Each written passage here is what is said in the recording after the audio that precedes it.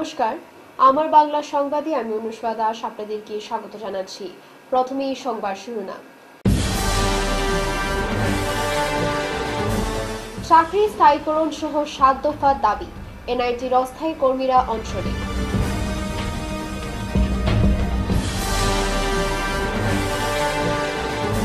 Ration card বিতরণের আনুষ্ঠানিক সূচনা, কাছাড়ের শুরু ধলাই থেকে।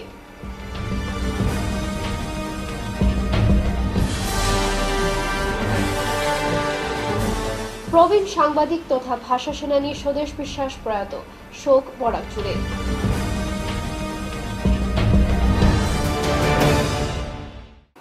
এবারে বিস্তারিত আমার বাংলার সংবাদ। দীর্ঘ বছর থেকে কাজ করে আসা অস্থায়ী কর্মীদের চাকরি স্থায়ীকরণ, স্থানীয় যুবক যুবতীদের নিযুক্তি সহ সাত দফা দাবি নিয়ে মঙ্গলবার সকাল থেকে অনশনে বসলেন শিলচর এনআইটির অস্থায়ী কর্মীরা। এনআইটির প্রশাসনিক ভবনের সামনে অনশনে বসে উত্তাল প্রতিবাদ সাব্যস্ত করেন তারা। তৎসঙ্গে বিভিন্ন স্লোগান দিয়ে উত্তাল করে তোলেন এনআইটি চত্বর। কর্তৃপক্ষের বিরুদ্ধে একাধিক অভিযোগ তুলে সরব অনশনকারী অস্থায়ী কর্মীরা। নিযুক্তি সহ বিভিন্ন ক্ষেত্রে এনআইটি কর্তৃপক্ষের বিরুদ্ধে স্বজন পোষণের অভিযোগ তুললেন প্রতিবাদকারীরা। দাবি পূরণ না হওয়া পর্যন্ত এই অনশন চলবে বলে হুঙ্কার দেন তারা। নিজে বুকে হাতে রাখা কোন বহুত ডাইরেক্টর আইলো গেল কিন্তু স্যার আজ পর্যন্ত এরকম অপমান হয়েছে না ডাইরেক্টর কেন গেলে Enemy staff এ স্টাফের অর্ডার লইতে লাগবো তারপরে গিয়া দেখা করতে লাগবো। এটা আজ পর্যন্ত হয়েছে না এনআইটিতে মিডিয়া আপনাদের মানুষ লাগবো। আমরা এখন সিওরে কল করছি স্যার। আমরা বিচার করব? আমরা বিচার করব। মিডিয়া হলো গণতন্ত্রের চতুর্থ স্তম্ভ। এরা ভালো দেখাইবো খারাপও দেখাইবো কেন মিডিয়া বন্ধ করবেন চাকরি শখ মিটে গেছে স্যার দেখুন খারাপ পাইবেন না স্টুডেন্ট থেকে আমরা চিনই আপনারা ভাত খাওয়াইছি চকিদারিও আপনারা করছি চাকরি শখ শেষ। এখনও করি আর? এখনও করি আর। খারাপ পাইবেন না স্যার সম্মান দিছি আমরা সেন্টিমেন্ট আছে। আপনারা তাকি সাইন্টিস্ট হয় আপনারা কি এই এনআইটি এনআইটি ইন্টারভিউ নেওয়ার যোগ্যতা নাইনি? এনডিএ কে ইন্টারভিউ নিত এনআইটি এই টাকাটা যদি থাকতো এনআইটিতে এনআইটির প্রোগ্রেসের লাগল না। আমরা টিচার আমরা টিচার এখানে ইন্টারভিউ নিলো। এই টাকা এনজিআর দিয়া কন্ট্রাক্টর দেওয়া কন্ট্রাক্টর ভাইয়া কন্ট্রাক্টর এখানে টাকা রিটার্ন আবার ঘুরিয়ে পাঠায় দুই এই ডকুমেন্টটা কে ডাবাইছে স্যার কে রেজিস্টার বা ডাইরেক্টর আসলো এটা আমরা লাগবো।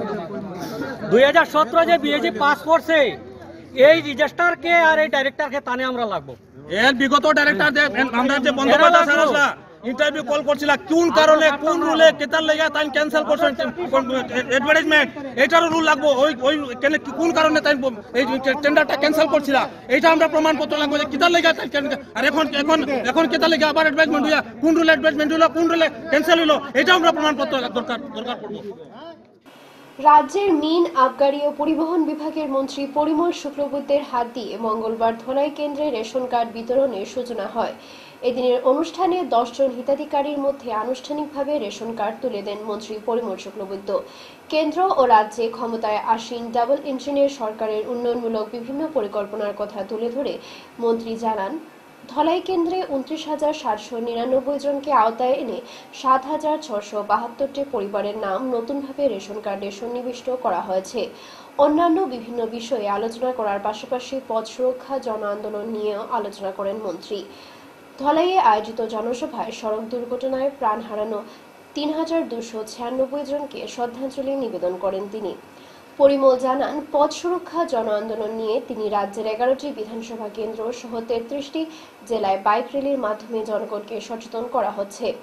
এদিনের অনুষ্ঠানে শিলচরের সাংসদ রাজদীপ রায়, জেলা শাসক রোহন কুমার ঝা সহ অন্যান্যরা উপস্থিত ছিলেন।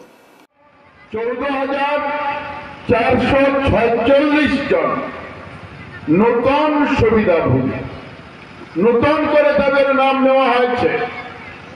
আর চৌন্ন হাজার দুইশো চল্লিশটি নূতন রেশন কার্ড।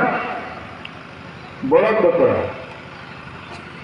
নতুন রেশন কার্ড মানে চুয়ান্ন হাজার দুইশো চল্লিশটি নূতন পরিবার সংযুক্ত হয় সংযোজিত হয়েছে। আর এখানে আমার ধলাইতে উনত্রিশ হাজার সাতশো নিরানব্বই জন সুবিধাভোগী আওতায় এনে নতুন করে সাত হাজার ছয়শো বাহাত্তরটি পরিবারকে সন্নিবিষ্ট করা। জানার প্রয়োজন আপনাদের, কারণ আপনারাই সরকার তৈরি করেছেন আর সরকার আপনাদেরকে অনুরোধ করেছে যে আমরা কোন জায়গায় ভুল করছি, কোন জায়গায় কি করা উচিত ছিল, প্রয়োজন ছিল, এই পরামর্শ আপনাদের কাছ থেকে নিতে হবে। প্রবীণ সাংবাদিক তথা ভাষা সেনানী স্বদেশ বিশ্বাস আর নেই। মঙ্গলবার সকাল আটটা পঁয়তাল্লিশ মিনিটে শিলচরে তিনি তার বাসভবনে শেষ নিঃশ্বাস ত্যাগ করেন। বাহাত্তর বছর বয়সী স্বদেশ বিশ্বাস দীর্ঘদিন ধরে শারীরিক অসুস্থতায় ভুগছিলেন। মঙ্গলবার তার মৃত্যুর সংবাদ ছড়িয়ে পড়তে শহর জুড়ে শোকের ছায়া নেমে আসে। উল্লেখ্য, প্রয়াত স্বদেশ বিশ্বাস বিভিন্ন সামাজিক সংস্থার সঙ্গে জড়িত থাকার পাশাপাশি শিলচর প্রেস ক্লাবের সাধারণ সম্পাদক পদে দীর্ঘদিন আসীন থেকে সমাজের সার্বিক উন্নয়নে কাজ করে গেছেন। ভাষা আন্দোলনেও তার অবদান ছিল অপরিসীম। তার প্রয়াণে পরিবার, পরিজন সহ নিকটাত্মীয় ও অনুরাগীদের মধ্যে বিষাদের ছায়া নেমে এসেছে। মঙ্গলবার বিভিন্ন সংস্থা ও সংগঠনের কর্মকর্তারা তাকে অন্তিম শ্রদ্ধাঞ্জলি নিবেদন করে শোকসন্তপ্ত পরিবারের প্রতি গভীর সমবেদনা জ্ঞাপন করেন। সাংবাদিক স্বদেশ বিশ্বাস, শ্রী চম্পা বিশ্বাস, দুই ছেলে, পুত্রবধূ নাতি নাতনি ও অসংখ্য গুণমুগ্ধদের রেখে গেছেন। যে গভীর শূন্যতা তৈরি হয়েছে, সেটি সহজে পূরণ হওয়ার নয়। যে সময় সাংবাদিকতার ক্ষেত্রে চরম প্রত্যাহ্বান ছিল, অত্যন্ত কষ্টে নানা ধরনের ত্যাগ স্বীকার করে যখন সাংবাদিকতা করতে হতো, যারা এই অঞ্চলে সংবাদ জগৎকে বলিষ্ঠ হাতে এগিয়ে নিয়ে গিয়েছিলেন স্বদেশ বিশ্বাস তাদের মধ্যে অন্যতম। পেশা হিসাবে নিচক নয়, একেবারে নেশাগ্রস্ত হয়ে। অর্থাৎ সামাজিক দায়বদ্ধতা নিয়ে। যে কীভাবে সেই নেশা ছিল, যে কীভাবে বরাক উপত্যকাকে সঠিক দিশা দেখানো যায়, সেই লক্ষ্য নিয়ে তিনি হাতে কলম তুলে নিয়েছিলেন। আম- আমরা দেখেছি সকল অন্যায়ের বিরুদ্ধে, অসত্যের বিরুদ্ধে, সাম্প্রদায়িকতার বিরুদ্ধে বিচ্ছিন্নতাবাদের বিরুদ্ধে তিনি সব সময় কলম ধরেছেন মানুষের স্বার্থে এবং সাংবাদিকতার যে নীতিনিষ্ঠ নিয়ম রয়েছে, বিধি রয়েছে সব কিছু মেনে তিনি চলতেন এবং সব সময় তিনি নতুন প্রজন্মকে তিনি উদ্বুদ্ধ করতেন, তাদের উৎসাহ দিতেন যে প্রকৃত সাংবাদিকতা যাতে এই অঞ্চলে গড়ে উঠে, সেই পরিবেশ যাতে তৈরি হয় এবং সকল প্রভাবশালী মহলের বিরুদ্ধে তিনি সুচ্চার ছিলেন। এবং সাংবাদিকতা পেশা যাতে কোনো অবস্থায় কলুষিত না হয়, সে ব্যাপারে কার্যত তিনি বিভিন্ন সময়ে অতন্ত্র প্রহরীর ভূমিকা গ্রহণ করেছেন। এই অঞ্চলে বহু ক্ষেত্রে তিনি সামাজিক যে দায়িত্ব পালন করে গিয়েছেন। নাদবৃন্দ শিলচর শাখার উদ্যোগে আগামী চার ফেব্রুয়ারি স্থানীয় বঙ্গভবনে ভারতীয় উচ্চাঙ্গ সংগীত সন্ধ্যার আয়োজন করা হবে। অনুষ্ঠানে একক বংশী বাদন মুখ্য আকর্ষক হিসেবে রাখা হয়েছে। অনুষ্ঠানে আন্তর্জাতিক খ্যাতিসম্পন্ন কলকাতার বিশিষ্ট শিল্পী বছর তেরোর অনির্বাণ রায় ও বিশিষ্ট তবলাবাদক রোহন বসু উপস্থিত থাকবেন। এছাড়া উচ্চাঙ্গ সংগীত শিল্পী কলকাতার দেবলীনা রায় ও চিরঞ্জিত মুখার্জি ভারতীয় উচ্চাঙ্গ সংগীত পরিবেশন করবেন। অনুষ্ঠানকে সফল ও সার্থক করে তুলতে সকলের সহযোগিতা কামনা করেছেন আয়োজক নাগবৃন্দের সদস্যরা। প্রতি বৎসরের মতো এবৎসরও আমাদের নাদবৃন্দ আয়োজিত ভারতীয় উচ্চাঙ্গ সঙ্গীতের আয়োজন করতে যাচ্ছি আমরা। তারিখ হচ্ছে আগামী চারই ফেব্রুয়ারি, রবিবার, বঙ্গভবন হলে। এবারের আমরা প্রতি বছরই অনেক বড় বড় আর্টিস্ট এনে আমরা প্রোগ্রাম করেছি।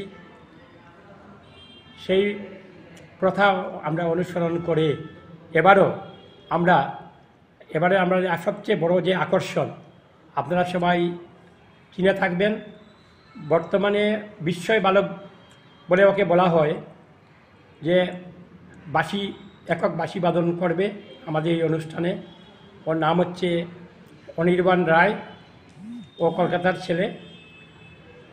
ও এবার আসছে এবং সেই সঙ্গে আমাদের বিশেষ একটা অনুষ্ঠান যেটা আমাদের উচ্চাঙ্গ সংগীত, কণ্ঠ, কণ্ঠশিল্পী, উনিও কলকাতা থেকে আসছেন, দেবলীনা রয়। ওনার সাথে তবলা সঙ্গতে থাকবেন পণ্ডিত কুমার বসুর সুযোগ্য ছাত্র চিরঞ্জিত মুখার্জি এবং বাঁশির সঙ্গে তবলা সঙ্গতে থাকবে পণ্ডিত কুমার বসুর ভাইপো শ্রী রোহন সোনার কাজীডহর দ্বিতীয় খণ্ডে এক ব্যক্তির মৃতদেহ উদ্ধার হয়েছে। মঙ্গলবার সকালে একটি পুকুরে পরিত্যক্ত অবস্থায় লাশ দেখতে পান স্থানীয়রা। পরে সোনাই থানায় খবর দিলে ওসি দলবল নিয়ে ঘটনাস্থলে পৌঁছেন। দুপুরে ম্যাজিস্ট্রেট হোসেন মোহাম্মদ মুবিনের প্রাথমিক তদন্তের পর লাশটি উদ্ধার করে ময়নাতদন্তের জন্য সেজুর মেডিকেল কলেজ ও হাসপাতালে প্রেরণ করে পুলিশ। জানা গেছে, মৃতদেহ উদ্ধার হওয়া ব্যক্তি হলেন ধলাই থানার অন্তর্গত নরসিংহ চতুর্থ খণ্ডের ক্লেবার হাউসের বাসিন্দা বছর পঞ্চাশের অমলেন কুসুম নাথ বরভুইয়া ওরফে বুলিনাথ। তার লাশটি উদ্ধার হয় কাজীডহরের বনের বাড়ি সংলগ্ন একটি পুকুর থেকে। সাংবাদিকদের সামনে এ নিয়ে বক্তব্য রাখতে গিয়ে বনের জামাই সঞ্জয় নাথ জানান, বহুদিন থেকে অমলেন কুসুম নাথ তার বোনের বাড়িতে প্রায় থাকতেন। গতকাল রাতে সংক্রান্তির পিঠেপুলি খাবারের পর রাত এগারোটা নাগাদ বোনের বাড়ি থেকে বের হয়ে পড়েন তিনি। প্রায় সময় নেশাগ্রস্ত থাকতেন অমলেন এদিন রাতে হয়তো বেশি নেশা করার ফলেই অঘটন ঘটেছে বলে মনে করেন তারা। তার আসলে রবিবার দিনে মেরামেরি খাওয়া হয়েছে এখানে। মেরামেরি খাওয়ার পরে আসলে অতিরিক্ত ড্রিঙ্ক করছে। তারপরে ড্রিঙ্ক করার পরে ঘরে রান্না করছে। আসলে মেরামেরি হয়েছে না তার নিজে নিজে ঘরে রান্না বান্না করার পরে তার মার বাবা এখানে থাকুন। মার সঙ্গে রান্না বান্না করিয়া এখানে মেরামেরি বাচ্চারা করে তারা আনিয়ে মাংস এক প্লেট দিয়া তারপরে ঘরে গিয়া ভাত খাইব। তো ঘরে গিয়া ভাত খাইতে গিয়া আর ঘরে ঢুকছে না। এখানে ঘুমাইব কম্বল বালিশ রেডি করে রাখছে। এখানে আর ঘুরে আইছে না। এরপরে যে না এদিকে খুব সম্ভব হয়ে বিড়ি বা সিগারেট খোঁজার কারণে এদিকে এই কোনাকুনি এদিকে আইছে। এগুলা মানে এডিক্টেড টু ওয়াইন আর কি। মদ খাওয়াটাও বেশি হয়েছে। ওই দিন আমার ওইটাই ধারণা যে মদটা বেশি হয়েছে। আপনার সাসপেক্টেড মানে কোনো এটা এই ধরনের কিছু না। আর এতদিন থেকে এখানে চা পাঁচ চা পাঁচ বছর উপরে বয়ে থাকে। এখানে আশপাশ আমার হিন্দু মুসলিম সব লোক গিয়া ক্লেভার হাউস সিঙ্গারি কয় পিএইচির কিনারে। তে তারার মা বাবা মানে আমার শ্বশুর শাশুড়ি তারা দুইজনে আমার এখানে দশ বছর আগের থেকেও তারা এখানে রাখে আমি পড়াশোনার কারণে বাচ্চারা নিয়ে আমি বাইরে থাকি। আপনার লাগের মানে অতিরিক্ত? মদ্যপানের ফলে এই ইয়েটা হয়েছে আর কি। পুরো নামটা কি তার যে মানে? ইয়ে- তার হইল গিয়া অম্লান কুসুম নাথ বড়িয়া ওরফে বুলি। আপনারা এরকম কীরকম পাইছেন? তাই মানে আই- ঘরে ঢুকছে না তার মায়ে ফোন করছে। মানে রাত্রেবেলা না পরের দিন গতকালকে। গতকালকে ফোন করছে যে, নাই আচ্ছা আশপাশ যা আত্মীয় স্বজন আছে সবের কাছে খবর নেওয়া হইল, এখানে গেছেনি এখানে গেছেনি। কোনো দিকেই নাই।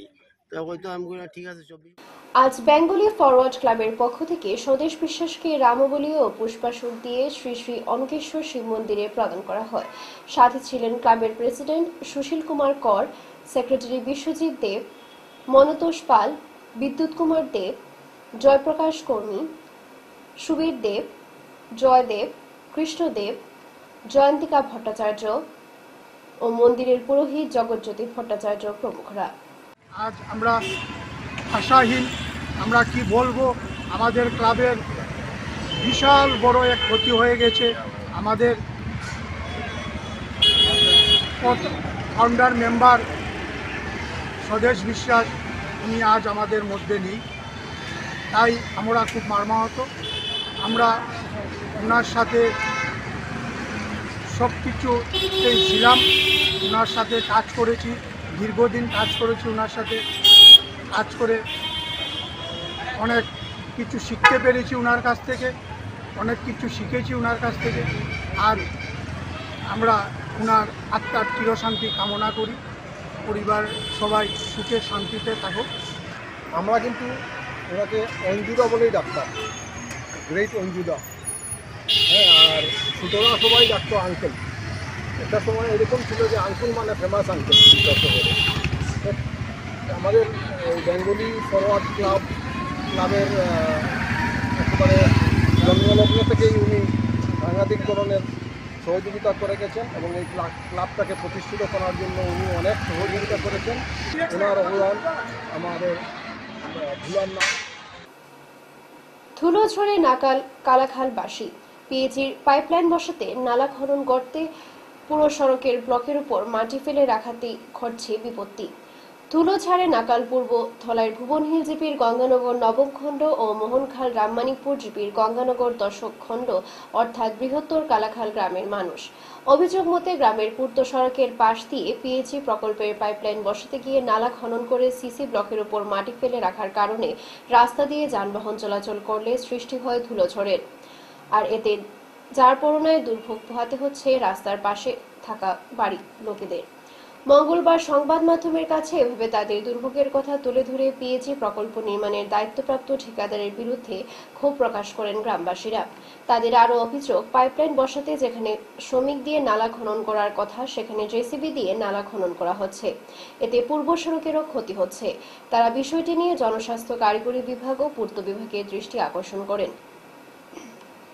মানে প্রায় এক মাস হয়ে যায় পিচি আন্ডারে মানে কাম হয়েছে মানে লেবার দিয়ে কাম করাই লেবার দিয়ে নাম দুই চার দিন কাম করাই এর ফলে গাড়ি দিয়ে ফাইবার প্রায় তারা গাতা করে করে মানে এইরকম ড্রেন করে মানে রাস্তা নষ্ট ভবিষ্যতে আমরা রাস্তা ব্লক রইতো না কোনো রকম দাবাইয়া কোনো রকম গাড়ি দিয়ে রাইতে আবার মাটি দিয়ে। দিনও আমরা কোনো মানুষের বার্তা পাই তারা তালাশ করার কেটে মানে মানুষ হওয়া যায় না তারা রাইতে মানুষ মানুষ ঘুমানি ঘরে আইয়া ড্রেন করিয়ে মানে ফাইভ গাড়িয়ে যায়। দুরা এই অবস্থা হয়েছে মানুষের বাড়ি করে বেরিয়েছে পর্যন্ত জল ঢুকেছে দুরা মানুষ বেড়াম হয়ে যাবে। কয়েকটা মানুষ বর্তমানে জ্বর হয়েছে মানে দুলার অবস্থায় দুরা একটা গাড়ি ক্রস করছে আর মানে কাপড় তো অন্ধ এই জায়গা তো বন্ধ থাকে। হ্যাঁ? খেলা গঙ্গানগর একা- একাদশ খণ্ড। গঙ্গানগর একাদশ খণ্ড নবমণ্ডল ইয়া খাল টাওয়ার। তার সময় আইয়া রাইট রাইট করে কতক্ষণ করে কতক্ষণ পাই প্রায় এক মাস হয়ে যাব। এক হয়ে যাব এটা লেবার দিয়ে করাইবার কথা, কিন্তু তারা গাড়ি দিয়ে করে, গাড়ি ঠুল দিয়ে এটা করে, এটা মাটি, অর্ধেক মাটি রাস্তার টাকার অর্ধেক মাটি দিনও যায়। না বিভাগ তো আমরা তো কমিটিতে আসলে ইঞ্জিনিয়ার লোক আমরা যোগাযোগ হয়েছি ইঞ্জিন লোকে মাঠ কথা হয়েছি লেবারে কাম করতো। গাড়ি দিয়ে কোনো কাম করবার মাতো নাই। এখন তো গাড়ি দিয়ে লেবার উঠে গিয়ে তারা গাড়ি দিয়ে এখন ওই যে লিলু কইন হুসেন হুসেন পিটি আন্ডারে মানে হেও কলঙ্কার সাপ্লাই করে। হুসেনে কামটা করা। হুসেনে তার প্রস্তুতি চলছে আগামী চার ফেব্রুয়ারি ছড়াটিকর মোকামে সৈয়দ শাহানুর শাহর বার্ষিক উরুজ মহফিল ও সৈয়দ শাহনুরিয়া আফতাবিয়া জামিয়া মাদ্রাসার দস্তারবন্দি মহফিল। ওই দিন সকাল দশ ঘটিকা থেকে হাইলাকান্দি শহরতলির রাঙ্গাউটি ছড়াটিকর মোকামের বাৎসরিক উরুজ মহফিল বিভিন্ন কার্যসূচির মাধ্যমে অনুষ্ঠিত হবে। এই মহফিলে বরাক উপত্যকার আহলি সুন্নত ওয়াল জামাতের বিশিষ্ট উলামায়ে কিরাম ও পীর মাসায় মাসায়খরা উপস্থিত থাকবেন। এই উপলক্ষে মঙ্গলবার ছড়াটিকর মোকামে এক সভা অনুষ্ঠিত হয়। সভা শেষে ছড়াটিকর মোকামের উরুশ মাহফিলের প্যান্ডেলের কাজের শুভ আরম্ভ করা হয়। তাছাড়া ছড়াটিকর মোকামের দ্বিতলা মসজিদের ভিত্তিপ্রস্তর করেন তেলিটিকরের পীর মঈন উদ্দিন সাহেব। তারপর সংবাদ মাধ্যমের মুখোমুখি হয় সবাইকে আমন্ত্রণ ও সব ধরনের সহযোগিতা কামনা করেন ছড়াটিকর মোকামের সাধারণ সম্পাদক আলহাজ কমরুল ইসলাম চৌধুরী। বাৎসরিক জলসা নিয়ে এক সভা অনুষ্ঠিত হয় তৎসঙ্গে। গত সবার সিদ্ধান্ত অনুযায়ী আজকে আমাদের এই বাৎসরিক জলসার প্যান্ডেলের ভিত্তি- ভিত্তিপ্রস্তর স্থাপন করা হয় এবং বিশেষ করে এই মুকামের মসজিদ, বর্তমান মসজিদ ছোট হওয়ার কারণে আজকে আমরা মুকামে একটি বৃহত্তর দ্বিতল মসজিদের শুভ শুভ ভিত্তিগ্রস্ত স্থাপন করা হয়। এতে আমি দেশবাসীর কাছে ইসলামিক ইসলামপন্থী দেশবাসীর কাছে বিনম্র অনুরোধ জানাচ্ছি যে আপনারা যদি এই মসজিদে কাজে শরিক হতে চান, তবে আপনারা মসজিদে এসে মোকামে এসে দান করে যেতে পারেন এবং যদি কেহ দান করেন, তবে আপনারা ব্রজপুর ইয়াকুবিয়া টাইটেল মাদ্রাসার চতুর্থ বার্ষিক দস্তারবন্দি মহফিলে এদিন একই সঙ্গে চোদ্দ জন মৌলানাকে মুফতির সনদ নিয়ে এক ইতিহাস সৃষ্টি করেছে ব্রজপুরে ইয়াকুবিয়া টাইটেল মাদ্রাসা এবং গবেষণা কেন্দ্র। এছাড়া বারো জন মৌলানাকে টাইটেল পাশে সনদ দেওয়া হয়। বেশ কয়েকজন ইমামকে দেওয়া হয় সংবর্ধনা। এই মহফিলের প্রধান অতিথি হোজাই পাবিজা, টাইটেল মাদ্রাসার অধ্যক্ষ মৌলানা মুবেশ্বর আলী নিজামি, সম্মানিত অতিথি হিসেবে তেলিটিকুড়ির পীর মৌলানা মঈনুদ্দিন নিমাইচাঁদপুরের সাহেবজাদা আলিমুদ্দিন চৌধুরী, রতনপুরের সাহেবজাদা মৌলানা বাহাউদ্দিন, রাতাবাড়ি টাইটেল মাদ্রাসার অধ্যক্ষ মৌলানা আব্দুল জলিল নিজামী ইয়াকুবিয়া টাইটেল মাদ্রাসার পরিচালন কমিটির আইনি উপদেষ্টা, গুয়াহাটি হাইকোর্টের আইনজীবী খুরশেদ আলম মজুমদার, বিশিষ্ট ঠিকাদার তথা সমাজসেবী কলিমুদ্দিন লস্কর, আলগাপুরের বিধায়ক নিজামুদ্দিন চৌধুরী প্রতিনিধি জামাল উদ্দিন চৌধুরী, ইয়াকুবিয়া টাইটেল মাদ্রাসার পরিচালন সমিতির সম্পাদক বাহারুল ইসলাম লস্কর। শেষ করার আগে বিশেষ বিশেষ খবর আরও একবার।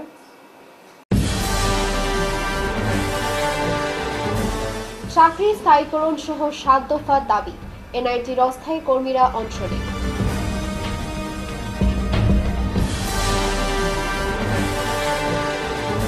রেশন কার্ড বিতরণের আনুষ্ঠানিক সূচনা কাছাড়ের শুরু ধলাই থেকে।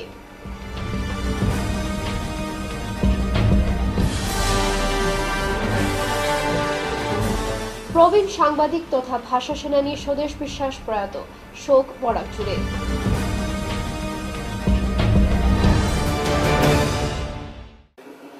আজকের মতো আমার বাংলা সংবাদ এ পর্যন্তই। নমস্কার।